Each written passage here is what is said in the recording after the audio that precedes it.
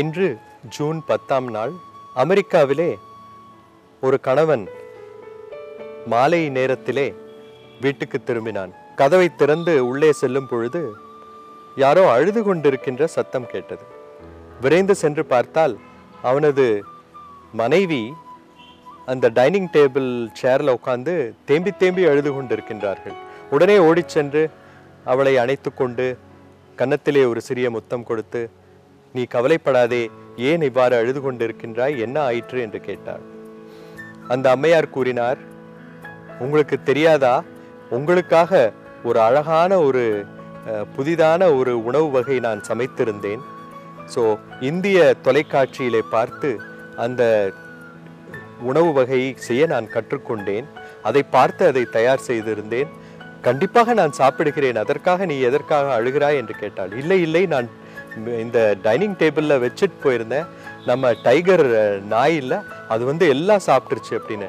அடடா அதற்காகத்தான் அழுகிறாயா நீ கவலைப்படாதே. அந்த நாயை இன்னைக்கு நைட்டே நான் புதைச்சிட்டு வேற நாய் உனக்கு வாங்கித் தரேன் என்று. ஏனென்றால் இந்த மாதிரி ஒரு எக்ஸ்பெரிமெண்டலாக ஒரு உணவு வந்து அந்த அம்மையார் தயார் பண்ணியிருந்தால் அதை சாப்பிட்டா கண்டிப்பாக நாய் கூட செத்து போகும்னு அந்த கணவனுக்கு உறுதியான நம்பிக்கை.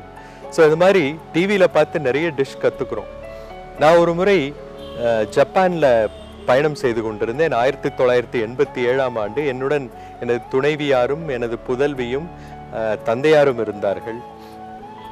ஜப்பானியர்கள் விருந்தோம்பலில் மிக மிகச் சிறந்தவர்கள். ஆனால் நாங்களோ சைவர்கள். ஜப்பானிய உணவு எங்களுக்கு பிடிக்காது வழக்கமில்லை.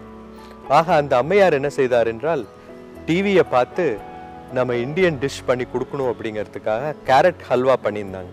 அந்த கேரட் ஹல்வா வந்து அவ்வளவு சந்தோஷமா I made it I made it for you அப்படின்னு சொல்லி அவ்வளோ சந்தோஷமாக பரிமாறுறாங்க.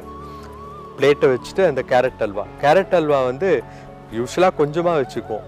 ஒரு பெரிய கரண்டி எடுத்து நிறைய எடுத்து இந்த உப்மா சாப்பிட்ற மாதிரி அவ்வளோ அளவுக்கு போட்டார்கள். அதை வந்து நீங்கள் சாப்பிட்டு பாருங்கள் நல்லா இருக்கும் அப்படின்னு அந்த அம்மையார் முகத்தில் அவ்வளோ மகிழ்ச்சி. நான் எடுத்து கொஞ்சம் வாயில் வச்சேன். வச்ச உடனே புரிஞ்சுது இது வேகவே இல்லை. ரெண்டாவது இனிப்பே இல்லை அதில். அதை எப்படி சாப்பிட்றது? அதை எடுத்து வாயில் போட்டு கஷ்டப்பட்டு நல்லா இருக்கா நல்லா இருக்கான்னு வேற பக்கத்தில் நின்று கேட்குறாங்க ஓ நல்லா இருக்கு நல்லா இருக்குன்னு சொல்லிட்டு சாப்பிட்டுட்டு இருந்தேன். கஷ்டப்பட்டு எனக்கு கண்ணில் தண்ணி வராத குறைதான். அவர்கள் என்ன செய்தார்கள் என்றால் எனக்கு மிகவும் பிடித்து விட்டது என்று இன்னொரு பெரிய கரண்டி நிறைய இன்னும் கொஞ்சம் வந்து கொட்டிட்டாங்க. அழுது கொண்டே அன்று உணவு உட்கொள்ள வே- அதான் உள்ளதான் அழுக முடியும் வெளியே சிரித்து கொண்டே சிலர் சிரிப்பார் சிலர் சிலர் அழுவார் சிலர் நான் நான் சிரித்துக்கொண்டே அழுகின்றேன் என்று அந்த கவிஞர் பாடியது போல நான் வந்து உள்ள அழுதுகிட்டே வெளியே சிரிச்சுட்டே சாப்பிட வேண்டியதாக போச்சு. இந்த மாதிரி உணவுங்கிறது ஒரு மிகப்பெரிய கலை. எல்லாருனாலையும் பண்ண முடியாது. எல்லாரும் நாமெல்லாம் ட்ரை பண்ணோன்னா அது கொலையாக மாறிவிடும். ஸோ அந்த கலையை அழகாக செய்ய வேண்டும் என்றால் அந்த கலையிலே நாம் வந்து என்னென்னலாம் இன்க்ரீடியன்ட்ஸ் இருக்கின்றன அதெல்லாம் புரிஞ்சுக்கணும். அதாவது இன்னைக்கு வந்து மேலை நாடுகளில் ஸ்பைசஸ் அண்ட் ஹெர்ப்ஸ் டே என்று கொடுக்கிறார்கள். அதாவது நாம் உணவிலே உட்கொள்ளுகின்ற அந்த பல தானிய வகைகள் அது மட்டுமல்லாமல் அதாவது சுவையூட்டக்கூடிய பொருட்கள் அது மட்டுமல்லாமல் மூலிகைகள் இதற்காகவே ஒரு நாள். அது மட்டுமல்லாமல் ஐஸ்ட் டீ டே என்று அந்த குளிர்விக்கப்பட்ட தேயிலை பானத்தை அருந்துவதற்காகவே ஒரு நாளை உருவாக்கி இருக்கின்றார்கள். ஸோ இந்த மூலிகைகள் அந்த ஹெர்ப்ஸ் அதை பற்றி கொஞ்சம் பார்க்கலாம். இந்த ஸ்பைசஸ் இந்த ஸ்பைசஸ் பார்த்தீங்கன்னா நம்ம வந்து ஸ்பைஸ்னா என்ன அப்படின்னு பார்த்தீங்கன்னா நம்ம வந்து சுவையூட்டுவதற்காக உபயோகப்படு சமையலிலே உபயோகப்படுத்துகின்ற பலவிதம் பலவிதமான பொருட்கள். அதாவது உதாரணமாக பார்த்தீங்கன்னா பெருங்காயம் சீரகம் வெந்தயம் பூண்டு சோம்பு பட்டை கிராம்பு லவங்கம் ஏலக்காய் பிரிஞ்சி இலை இது போன்ற பல விஷயங்கள் மஞ்சள் ஜாதிக்காய் இது போன்ற பல விஷயங்கள் இந்த இந்தியாவில் மட்டும்தான் இவ்வளவு யூஸ் பண்ணுறோம் இவ்வளோ ஸ்பைசஸ் காண்டிமெண்ட்ஸ் அதே மாதிரி இதுக்கு அடுத்தது வந்து யார் அதிகமாக யூஸ் பண்ணாங்கன்னா சைனா தான். அதனால் இந்திய உணவு வந்து யாராவது சாப்பிட வந்தாங்கனாலே ரொம்ப கஷ்டமான விஷயம். ஒரு அமெரிக்கர் வந்தார் ஹைதராபாத்துக்கு. ஹைதராபாத்தில் பார்த்தீங்கன்னா ரொம்ப காரம் யூஸ் பண்ணுவாங்க. ஸோ இவர் வந்து இந்த நம்ம இந்தியா ஹோஸ்ட் வந்து அவரை கூப்பிட்டு போனார் ஹைதராபாதி பிரியாணி எல்லாம் சாப்பிட்லாம் அப்படின்ட்டு.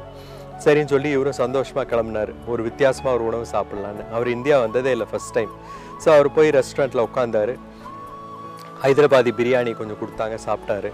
அதுக்கப்புறம் வந்து வெறும் சாதம் கொடுத்து இந்த பொடி கொடுத்தார்கள். அந்த சாதத்தில் கலந்து சாப்பிட்ற பொடி.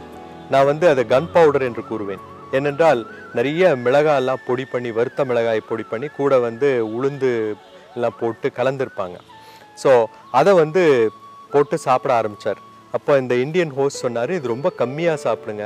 உங்களால் முடியாது காரமாக இருக்கும்னு. இல்லை இல்லை ரொம்ப நல்லா இருக்கா. I love it I love it அப்படின்ட்டு நிறைய போட்டு சாப்பிட்டாரு. சாப்பிட்டதுக்கப்புறம் வந்து அடுத்தது கோங்கூரா வந்தது. அந்த கோங்கூராவை கலந்து கொஞ்சம் சாப்பிட்டாரு. அதுக்கப்புறம் வந்து தயிரும் அந்த ஆவக்காய் ஊறுகாய் வந்தது. இந்த டைமில் அவரால் தாங்க முடியல. கொஞ்சம் தயிர் தயிரோட சாப்பிட்டா வெறும் தயிர் மட்டும் சாப்பிட்டாங்க இல்லை இல்லை இந்த ஆவக்காய் ஊறுகாய் அழகாக இருக்குது ரொம்ப ஸ்பைசியாக இருக்குது நல்லா இருக்குன்னு அதையும் சாப்பிட்டார். சாப்பிட்டதுக்கப்புறம் அழுக ஆரம்பிச்சிட்டார். ஐயோ எனக்கு வந்து உள்ள நெருப்பு பத்திட்டு எரியுதே காதலெல்லாம் புகை வருது யாராவது காப்பாத்துங்க அப்படின்னு கத்துனார். அப்புறம் அந்த இந்தியன் ஓடி போய் அப்புறம் ஐஸ்கிரீம் கொண்டு வந்து இதை உடனடியாக சாப்பிடுங்க உள்ளே இருக்கிற நெருப்பெல்லாம் அணிஞ்சு போயிடும்னு சொல்லி. ஸோ அந்த மாதிரி அந்த உணவுங்கிறது அவ்வளோ ஸ்பைசியாக இருக்கும் இந்தியாவில் ஸோ அது வந்து எல்லாருனாலே தாங்க முடியாது. உலகத்தில் எந்த மூலைக்கு போனாலும் ஒரு ஸ்பைசியாகவே இருக்காது. ஒரு காரசாரமாக இல்லாத உணவு தான் எங்கே போனாலும் எந்த நாட்டுக்கு போனாலும் கிடைக்கும். ஸோ அதனால தான் இந்தியர்கள் வெளியே போய் சாப்பிட்றதுனா ரொம்ப கஷ்டம். நம்ம போகும்போது ஒரு ஊறுகாய் பாட்டிலும் கொண்டு போகணும். அமெரிக்கா போகும்போது வேறு வழியே இல்லை. ஆக இந்த ஸ்பைசஸ் அண்ட் காண்டிமெண்ட்ஸ் இவையெல்லாம் எப்போ வந்தது இந்தியாவுக்கு என்று பார்த்தீர்கள் என்றால் இந்தியாக்கில் உலகத்துக்கே பாருங்கள் ஏழாயிரம் ஆண்டுகளுக்கு முன்னாலே சுமேரியா கண்டத்திலே இந்த இதெல்லாம் யூஸ் பண்ணாங்களாம். சுமேரியாங்கிறது நம்ம இந்தியாவுக்கு கீழே ஆஸ்திரேலியா வரைக்கும் இருக்கிற அந்த கண்டம் வந்து தண்ணிக்குள்ளே போயிடுச்சு. அது லெமூரியா இன்னொன்று வந்து சுமேரியா. ஸோ இந்த சுமேரியா கண்டத்தில் யூஸ் பண்ணாங்களாம். அதுபோல் எகிப்து நாட்டில் கிட்டத்தட்ட மூவாயிரத்து ஐநூறு ஆண்டுகளுக்கு முன்னால் கொத்தமல்லி யூஸ் பண்ணியிருக்காங்க வெந்தயம் யூஸ் பண்ணியிருக்காங்க. ஸோ பூண்டு யூஸ் பண்ணியிருக்காங்க. அதுபோல் இந்தியாவில் பார்த்தீங்கன்னா தான் ஸ்பைசஸ் எல்லாம் இது- இது வந்து நிறைய வந்தது. கேரளாவில் வந்து இந்த மிளகு விளைந்ததால் மிகப்பெரிய யுத்தங்கள்லாம் நிகழ்ந்தது. ஒவ்வொரு நாட்டினரும் போர்ச்சுகீஸ் பீப்புள் வந்தாங்க ஸ்பானிஷ் வந்தாங்க இங்கிலீஷ் வந்தாங்க எல்லாருமே சண்டை போட்டாங்க.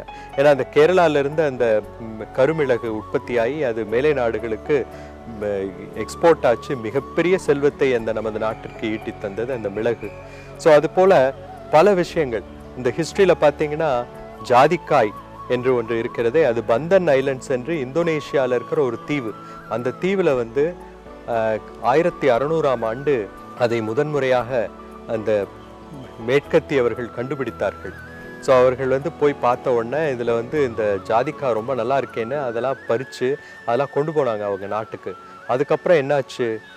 மிக மிக ரொம்ப நல்லா இருக்குது இது இதை வந்து இந்த ஜாதிக்காய் வந்து மேலே வந்து போட்டு தூவி அதை பொடி பண்ணி தூவி சாப்பிட்டா ரொம்ப நல்லா இருக்குது டேஸ்ட்டாக இருக்குது அப்படிங்கிறதுக்காக பதினைந்தாயிரம் மக்கள் அந்த தீவிலே வாழ்ந்து வந்தார்கள்.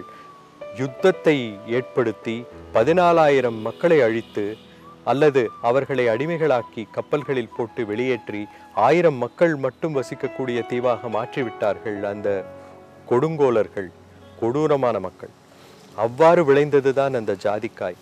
அதுபோல இந்த ஸ்பைசஸ் அண்ட் காண்டிமெண்ட்ஸுக்காக விளைந்த போர்கள் தான் உலகெங்கும் எத்துணை. ஸோ மஞ்சள் என்பது இதில் மிகப்பெரிய ஒரு வரப்பிரசாதம். அந்த மஞ்சள் வந்து நாம் உணவிலே உட்கொள்ளும் பொழுது நமது உணவு மிக மிக அழகு பெறுகிறது என்றால் ஏனென்றால் மஞ்சள் is a very good antioxidant அதில் கர்க்குமின் என்ற பொருள் இருக்கின்றது. அந்த கர்க்குமின் மூணு தான் இருக்குது நூறு கிராம் மஞ்சள் எடுத்தால் மூணு கிராம் தான் கர்க்குமின் கிடைக்கும். அந்த கர்க்குமின் வந்து is an antioxidant anti cancer cancer வருவதை தடுக்கின்றது நினைவாற்றலை அதிகரிக்கின்றது. ஸோ மிகப்பெரிய வரப்பிரசாதம் மஞ்சள். ஸோ அந்த அந்த மஞ்சள் எல்லாமே உறிஞ்சுவதில்லை. குடல்ல போச்சுன்னா அத்தனையும் உறிஞ்சப்படாது. அந்த கற்குமின் உறிஞ்சாது. குடல் உறிஞ்ச முடியாது. அதற்கு இந்த மிளகு பொடியை சேர்த்து உண்ணும் பொழுது இரண்டாயிரம் மடங்கு அந்த கக்குமின் அப்சார்ப்ஷன் உறிஞ்சுதல் அதிகமாகின்றதாம் குடலிலே. ஆக நீங்கள் பார்த்தீங்கன்னா அந்த காலத்தில் வந்து ஏதாவது உடம்பு சரியில்லை சளி பிடிச்சிருக்கு. உன்னை என்ன சொல்லுவாங்க பாட்டி? ஒரு கால் கிளாஸ் பால் எடுத்து அதில் கொஞ்சம் மஞ்சத்தூள் போடு கொஞ்சம் மிளகு பொடி போட்டு கலந்து குடி எல்லாம் சரியாயிடும்பாங்க.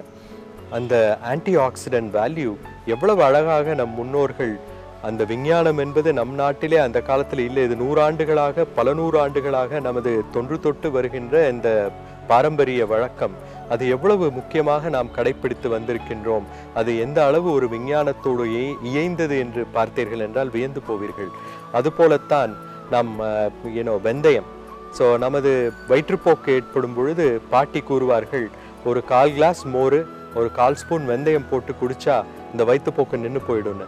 அந்த வெந்தயம் என்ற ஃபெனுக்ரீக் வந்து ப்ரீபயோட்டிக் அந்த இது வந்து மோரில் இருக்கிறது ப்ரோபயோட்டிக்ஸ் நிறைய சாக்ரோமைசிஸ் புலாடி என்ற ஈஸ்ட் கிருமிகளும் லாக்டோபாசில்லஸ் என்ற பாக்டீரியா கிருமிகளும் இருக்கின்றன. இவை கலந்து உண்ணும் பொழுது நமது உணவிலே உறிஞ்சப்படும் பொழுது அல்லது குடலிலே சென்று சேரும் பொழுது குடலிலே நட்புத்தன்மையுடைய பாக்டீரியா ஈஸ்ட் கிருமிகள் வசிக்கின்றன.